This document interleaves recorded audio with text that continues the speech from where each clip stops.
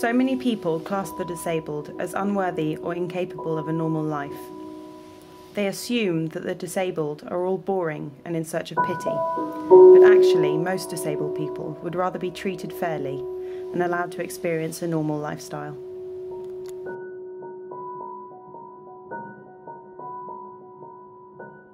For years, the media has helped to give a label which brainwashes people into thinking that the disabled community are useless freaks and has created a prejudice that alienates them from society.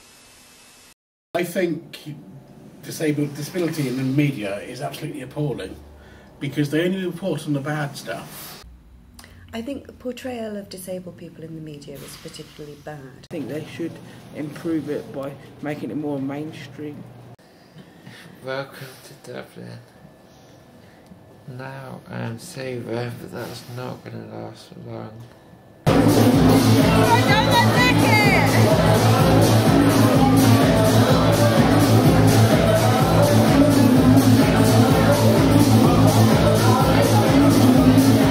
Disabled people uh, need to have, they need to actually be on telly a little bit more. Program like Paralympics is a source of encouragement for disabled people.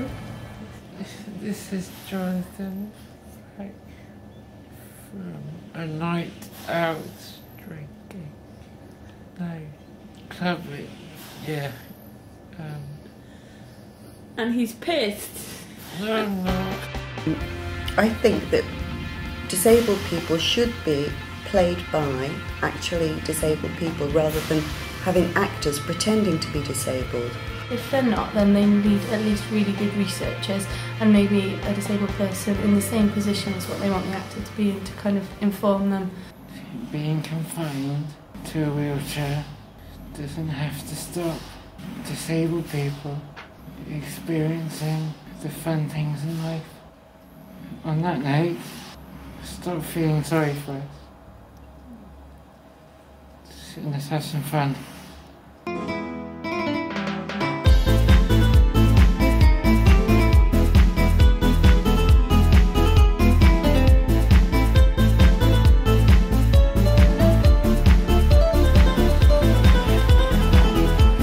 Mnie niczego nie potrzeba, nic prócz lasu, nic prócz nieba mnie niczego nie potrzeba, starczy to co